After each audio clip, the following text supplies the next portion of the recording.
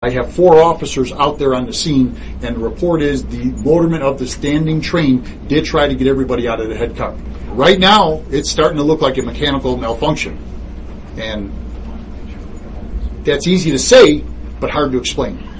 That's going to be the question. You're going to sit there and say if it comes out that this was a malfunctioning train, how did this happen? And that's a big concern of ours. If some train somehow got out of a yard, went up a slight incline, went through an interlocking, a series of actually two interlockings, and then downhill and run, we've got a big problem out there. The initial report was that it was a someone walked into the yard and stole the train. We found that hard to believe, and still find it hard to believe because they would have been on that train as it went through the Forest Park station. We do know that the supervisor says he saw nobody on that train.